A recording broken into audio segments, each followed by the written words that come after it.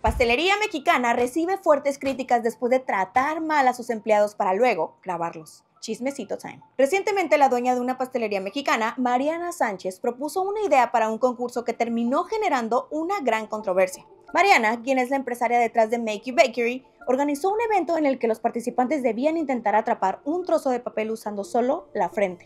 La actividad parecía divertida y original, pero lo que no anticipó fue la fuerte reacción que generaría. El video del concurso fue publicado en la cuenta de Instagram de Make Bakery y rápidamente se volvió viral. Cabe aclarar que las participantes lo hicieron bajo su consentimiento e incluso algunas de ellas se mostraron divirtiéndose.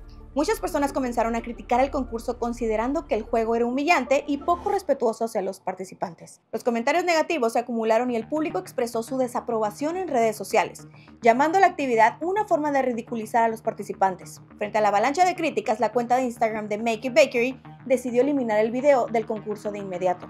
Además, la página restringió la capacidad de los usuarios para dejar nuevos comentarios, tratando de controlar el flujo de críticas y comentarios negativos. El impacto del incidente fue significativo y llevó a una reflexión más amplia sobre cómo las empresas y sus líderes deben manejar las actividades y eventos que involucran a las personas. La situación en Make Bakery nos enseña una valiosa lección sobre cómo nuestras acciones pueden afectar a otros y la necesidad de ser conscientes y respetuosos en todo momento.